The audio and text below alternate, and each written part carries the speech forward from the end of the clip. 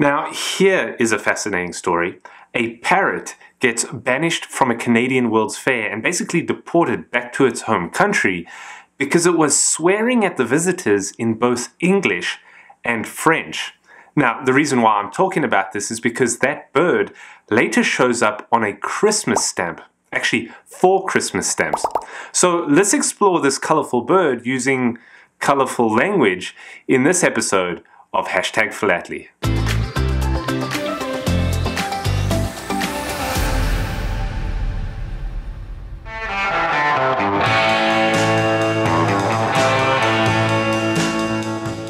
Takes place at the Canadian Expo back in 1967. This was a World's Fair, and World's Fairs were rather prestigious events. I have discussed the New York World's Fairs uh, in a previous video and how they brought an enormous attendance of visitors from around the world that were eager to explore different cultures and catch a glimpse of new and exciting inventions, ideas, and what the future may hold. If you haven't already seen the New York World's Fair video, I really encourage it. It was one of my favorites to film. Now, this particular World's Fair that I'm talking about was called Expo 67 and was held in Montreal, Canada. It coincided with Canada's centenary celebration of its confederation. Canada's colonies, uh, Nova Scotia, New Brunswick, Ontario, and Quebec, were united in a single federation called the Dominion of Canada on July 1st, 1867. Now, this 67 Expo was interesting for a number of reasons one of which was the time that it was held. This was two years before the lunar landing and during the heart of the space race. The USA Pavilion and the Soviet Union Pavilion were really close to each other, boasting their achievements with the US Pavilion giving a sneak peek at what landing on the moon will look like. I should also mention that there was a stamp issued for the fair featuring the Canadian Pavilion. Today, the US Pavilion still stands, known as the Biosphere, which is arguably the most iconic remnant of the expo and has earned a place as one of Montreal's landmarks that has been visited by millions of people over the years. But the pavilion that I want to talk about is the Guyana Pavilion that was shared with Barbados that year. A big deal for both Guyana and Barbados as they had recently become independent countries the previous year in 1966. So this 1967 Expo was an opportunity to advertise their independence, uh, showcase what they were known for, from tourist attractions to sporting achievements, what drove their economies and inspired their culture. For Guyana's presence, it was decided to send a number of macaws, beautiful and colorful parrots indigenous to the region and known for their ability to learn and repeat words one of which was named Millie, a macaw that would have been the star exhibit for Guyana because Millie could speak two languages, French and English, which is rather special since this expo is being held in Montreal, the largest city in the French province of Quebec, which is in the predominantly English speaking country of Canada. Perfect! So, where did this go wrong? Millie apparently arrived early to the show, several weeks while the construction was still ongoing with the pavilion. And since Millie was on site, she listened to all the construction workers as they worked to get things ready.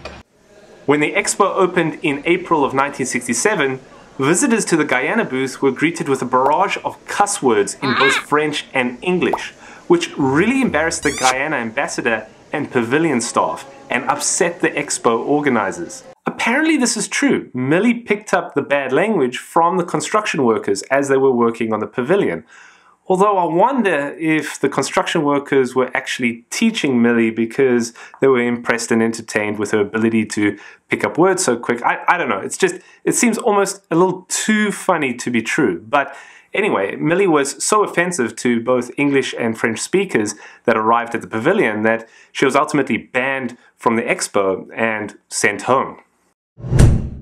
Poor Millie, she didn't know those were bad words, so excuse her French. But this is not where the story ends. Following her return, Millie gets featured on four Christmas stamps.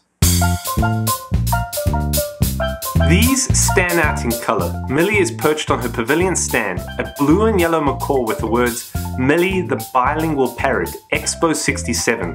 They came in a red and olive green 5 cent version, along with a purple and lime green 25 cent denomination of the Guyanese dollar. Note that since Guyana was a brand new country, it specified where it was by including South America written on the stamp.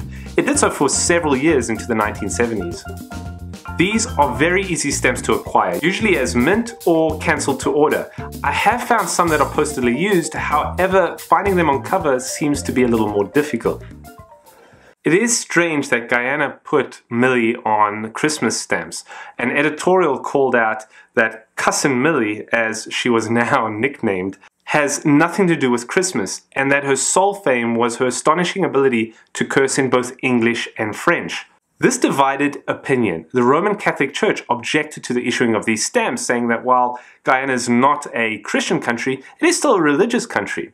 At the same time, an archdeacon reached out who was a philatelist and said, God bless Millie, send me some stamps, please. Apparently, Millie's language was not only colorful, it was blasphemous.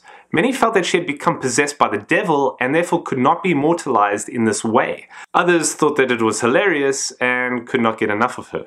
Another controversy which I don't quite understand is that the stamp says bilingual parrot instead of bilingual macaw. I thought a macaw was a type of parrot. So is the issue that it's not specific enough? If they want to be specific, then perhaps instead of saying bilingual parrot, they should say bilingual swearing macaw. Bottom line is, if you collect stamps from Guyana, Millie the bilingual parrot is a must-have. It's some of the most famous stamps from Guyana. Well, there's the one from British Guiana, but only one of us can own that. These four stamps are very accessible. All of us can own them. Uh, keep a lookout for them. If you're into Christmas stamps, birds on stamps, macaws on stamps, uh, famous linguists, world's fairs, or just beautiful stamps, also check them out. They may be of interest to you. I want to thank one of my viewers on Twitter who tagged me in a tweet after discovering this story when researching that stamp. It's amazing what stories you can uncover when looking through your stamp album. So thank you Mike and thank you to all of you for watching this video. As always, happy exploring.